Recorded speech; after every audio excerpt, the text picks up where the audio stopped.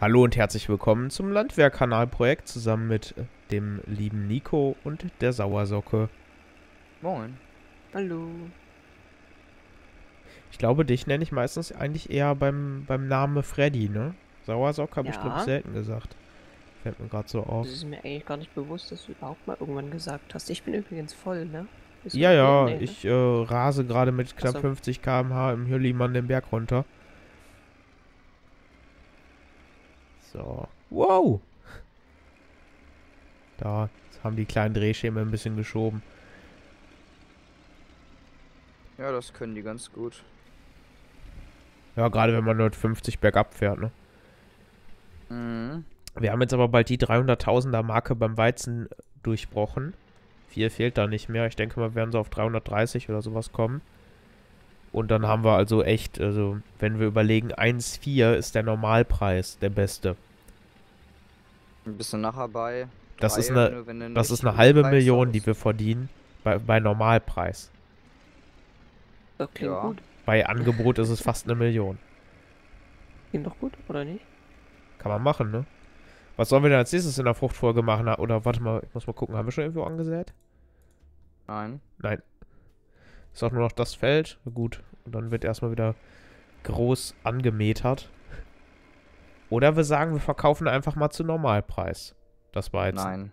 Das ist immerhin eine halbe Million. Mhm. Dann verkaufen wir aber alles. Aber das kriegen wir mit den beiden Anhängern nicht in einer Stunde hin. Ähm, Du brauchst bald fünf Minuten für eine Fahrt. Da kriegst du vielleicht 100.000 in einer Stunde verkauft, wenn es gut läuft. nicht. Wovon haben wir Wohin denn wenig im Lager? Nein, wo muss man hin? Äh. B -b -b. Ich gucke mal. Äh. Sit. Nee. Äh, Forstner. Macht gar, stellt gar kein Problem dar. Wo ist das denn? Rechts unten in der Karte, das stellt kein Problem dar. Dann nehmen wir nämlich aus dem ähm, Dings Silos beim ähm, unter dem Hof nehmen wir da das raus und fahren dann jeder mit einem Anhänger äh, zum Forstner. Ja. Aber Beziehungsweise ich glaube, wir warten doch noch mal einmal Spulen ab. Und dann schauen wir, wenn dann kein schlauer, Angebot kommt. äh, wenn wir das vom äh, Fachwerkhof nehmen würden. Ja, Fachwerkhof müsste näher sein sogar. Ja, und dann schaffen wir das. Dann fährst du keine fünf Minuten. Aber ich glaube, eine halbe 300 und schaffst du trotzdem mit den 11 Kubik, die du mitnimmst. Oder eigentlich da nur 5,5, wenn jeder. Ja, also ist auf jeden Fall über 300.000 schaffst du nicht. Könnte man ausprobieren. Ich schätze mal 150, 200.000 solltest du schaffen, aber viel mehr nicht. Weil das sind einfach Schubkarren. Da geht gar nichts Ja, rein. das stimmt.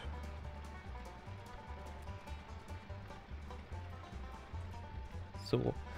Äh, was wollte ich denn jetzt machen? Genau, hier muss Stroh noch gekalkt werden. Ja, die Leute haben sich bei mir ein bisschen über die Kalktextur beschwert.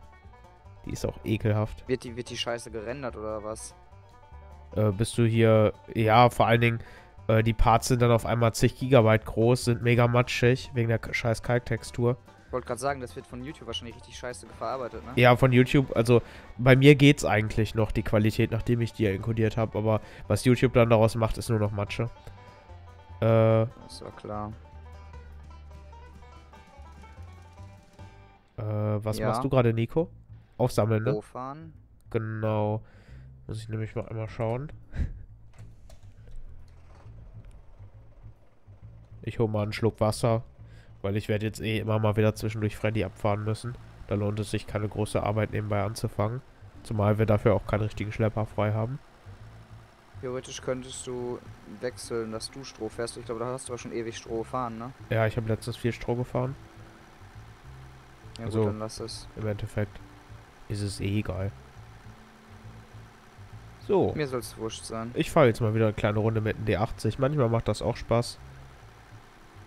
Gerade wenn man den eine Zeit lang, also damals, als, äh, ich sag mal, ja gut, ist jetzt auch schon zwei, drei Monate her, ne, als der D80 noch der große war, mehr oder weniger.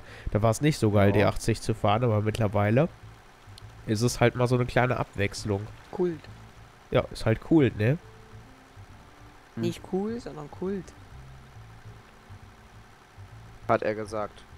Ja. Er hat das UNO etwas länger gezogen. Ja, hat er gesagt. Kult. Im Sinne von Kultur, Richtig. meinte ich.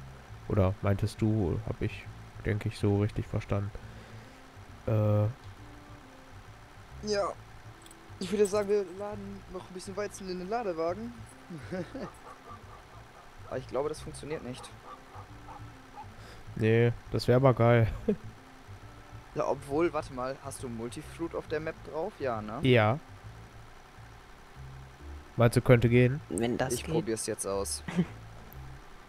Das wäre episch, weil da drin, bei, bei dir gehen 15 oder 20 rein, ne? 22. Aber dann nur mal. Und ganz ehrlich, dadurch, dass der eh nicht bis zu den. Der belädt ja nur den unteren Teil quasi wegen der Plane. Die nicht so geil ist. Nein, ist es ja quasi realistisch. nicht. Ja, aber nein, tut er nicht. Och, schade. Hätte ich jetzt irgendwie gefeiert. Ich muss auch noch die Parts fertig machen mit Froktor. Die habe ich auch noch Aber nicht. nein, das wäre nicht realistisch. Der ganze Wagen hat ungefähr 20, nicht mal 20 Kubik. Ja, ja, klar. Aber ich sag mal, an sich könntest du ja in einem Ladewagen. Ja gut, Nein, wenn du das du vorne nicht. dicht machst beim, beim Pickup Vorne auch. und hinten hast du auch Probleme. Nein, nein, das geht wirklich nicht. Der ist wirklich für, für Stroh und Heu Meinst du, da fällt dir alles raus an den Ja, das, Ritzen? das rieselt dir so raus. Hast ja auch einen Kratzboden und alles. Dahinter lässt du eine Spur aus Brotkrumen. Wortwörtlich. Äh, Freddy, sag Bescheid, wenn ich äh, fahren muss, ne? 80 Prozent, also kann sich eigentlich auf den Weg machen. Du musst schon um, bei um 70% rum Bescheid sagen. Boah, hier kommt noch richtig was an Stroh runter. Gerade auf Feld 1 ist ja eigentlich nochmal richtig Meter. Ja, und Feld 2 ist schon ewig viel.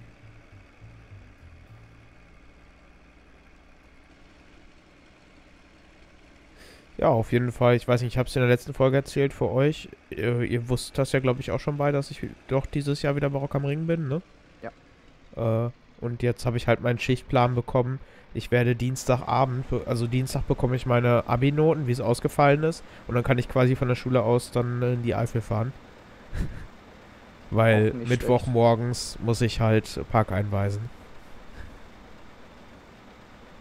Freue ich mich aber eigentlich schon drauf. Müssen wir halt nur schauen, dass wir ein bisschen was vorproduziert ko- bekommen, beziehungsweise ich hätte ja auch noch ein paar, s- paar Videos da mit Fruktor. Da haben wir ein paar Folgen auf der Stappenbach gespielt. Habe ich auch schon angesprochen, Richtig. aber die Sachen sind halt noch nicht fertig. Muss ich mich drum kümmern. Ich weiß auch nicht genau, in welchem Zusammenhang ich die so bringe. Also ich werde die wahrscheinlich erstmal einfach so bringen und dann schauen wir mal, ob wir da nicht irgendwann auch mal, wenn wir da Bock drauf haben, was anderes auf der Map machen. Vielleicht die Map so ein bisschen für kleinere Events nutzen, dass man halt alle paar Monate mal, wenn, wenn sich das so findet, dass man mit größeren Gruppen spielt, weißt du? So wie beim letzten Mal halt auch, da ja, waren dann wir auch. sollte, dann so, sollte sich das aber auch finden, obwohl da es noch keine Gruppe war. Ja, das war eigentlich von der Größe her ja auch ganz nett. Ja, aber es war eher ein Grüppchen, also das war ja noch nicht wirklich. Ja, aber es ist, es ist, ich finde, das war optimal. Noch mehr gibt nur Chaos. Ja, obwohl ein mehr wäre ganz gewesen. Ja Einer gut, hat ein mehr, aber der reißt dann im Endeffekt ja auch nicht mehr die Welt. Nein, nein, aber wie gesagt, einer hat noch gefehlt, das wäre ganz gut gewesen. Das wäre dann so ein Spielstand, wo man vielleicht auch mal mit vielen häckseln könnte und sowas, ne? Also Mais wirklich. Oder mal groß, ja, Holmer ist aktuell, weiß nicht. Bin ich gerade nicht so ganz so scharf drauf irgendwie. Hätte ich zwar doch auch schon Bock drauf, sind geile Geräte. Aber irgendwie, äh, ich sag mal, die, die Stunden, die wir auf der MIG gespielt haben, war, war schon so ein bisschen, äh, Upturn. na, war, war geil, aber im Nachhinein, es war halt dann, äh, es ist dann halt so ein bisschen gesättigt, ne? Man hat sich da so ein bisschen dran. Obwohl, was man machen fertig könnte, gespielt. man könnte mit einem Trecker und der It-Runner Mulde plus dann einem kleineren oder einem anderen Trecker mit Frontlader könnte man den Mist aufladen. Und mit einem anderen Trecker und dem Terra-Variant könnte man es auf dem Feld äh, ausbringen, beziehungsweise auf dem Feld aufladen.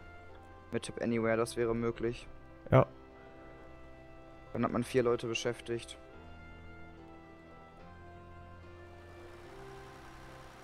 Und wenn ich mir überlege, wir gehen jetzt echt stramm auf die 100 Folgen zu, ne? Da müssen wir ein bisschen ranhalten mit dem, was wir hier machen. Haben wir schon länger nicht mehr. Warte mal, wie viel war nochmal Sosnovka? Waren das 100 oder war es etwas Mhm. weniger? War weniger, waren ne? Weniger. Dann ist das hier. Also bei Aber- 101er Folge ist es Aber- quasi das längste Projekt, was ich im 15er habe. Weil Simmerat und so weiter, die waren ja alle immer 100 Folgen. Früher. Richtig. Abfahren. Selber. Ja, ist egal, mach selber. Okay, gut. bin dabei. Dann doch nicht. Muss mir nur rechtzeitig Bescheid sagen. Hat er. Ja? Nicht. Ja, er Ja, hat was gesagt, aber ich glaube, da, da war dann schon zu spät, oder? Ja, da war ich bei 85 Prozent. Ja gut, das hat bei der kleinen Mühle keinen Sinn. Das ist ungewohnt. Wow. Also, Boah, ich freue mich auf vernünftige Anhänger. Da habe ich auch richtig Bock drauf. na schon. Aber ich muss sagen, ich habe, glaube ich, so ein bisschen äh, dazugelernt aus einigen Sachen. Auch beim 15er, da werden wir ja, ist ja mehr oder weniger, steht ja schon so in den Sternen, dass wir da auch wieder etwas machen. Nach Möglichkeit auch was Längeres. 15er? Äh, 17er, sorry. Ich bin, weißt du, jetzt ist der 15er schon quasi wieder alt. Nein. Ja, Wenn Ist der halt noch- 17er einen noch Monat das draußen aktuelle Spiel, aber es ist halt nicht mehr so, dass man vom 17er als das neue Spiel redet, sondern es ist schon fast wieder so, dass die, dass die, die Sicht als neues Spiel doch schon auf den 17er geht, ne? Ja, In der nächsten Woche können wir uns da auch sicher auf ein paar E3-Videos oder sonst irgendwas freuen. bestimmt. Bin ich sehr gespannt, was die denn da so als Trailer reinpacken. Also was ich bis jetzt rausgehört habe von Giants, äh, wird es doch so ein paar Sachen, äh, ein paar Sachen werden ein bisschen, gehen ein bisschen, wohl ein bisschen tiefer. Bin ich sehr gespannt, wie das genau aussieht. Ja, äh, gespannt kannst du sein. Ich schätze mal, aber es wird kein großes. Äh, wir werden Infos bekommen. Das wird eher wieder sowas wie der Teaser vom. Ja, ja, klar. Zu E3 Force, ne? kommt eh nur eine Kleinigkeit. Die groß, der große Batzen an Infos kommt dann äh, zur Gamescom. Beziehungsweise die spielbare Version. Beziehungsweise es wird vermutlich äh, auf der FarmCon meines Wissens nach eine spielbare Version geben.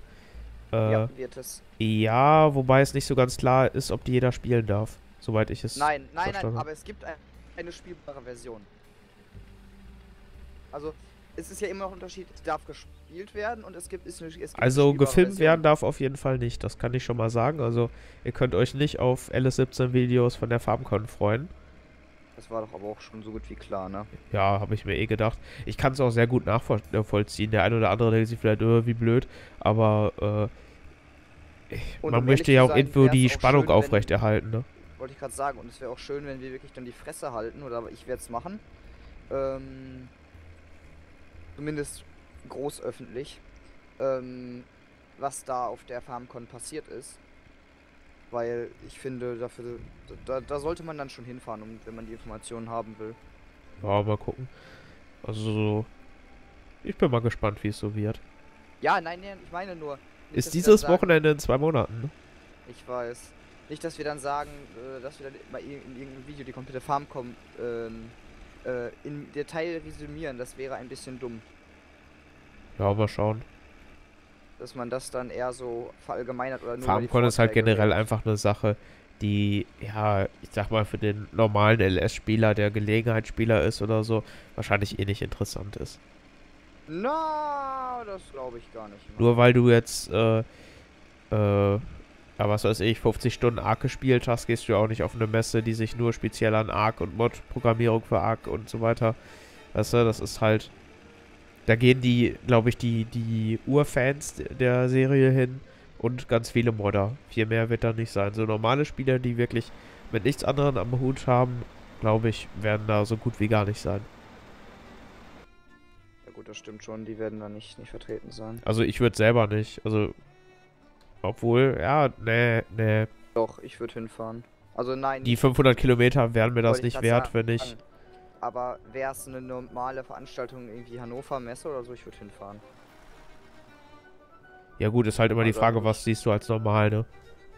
Hannover wäre mir auch Ja. zu weit, sind bei mir auch 300 Kilometer oder so. Ja, bei mir ist es eine Dreiviertelstunde, dann bin ich da. Ja, stimmt, der Umkreis von einer Stunde könnte man vielleicht dann auch äh, so mal darüber nachdenken, aber es ist halt, es ist halt einfach schon ein bisschen heftiger Aufwand. Ja, klar. Gerade wenn man, ja, je nachdem, was man da halt für einen Nutzen rausziehen möchte. Boah, ich komme mit dem Deutz D80 nicht den Berg hoch.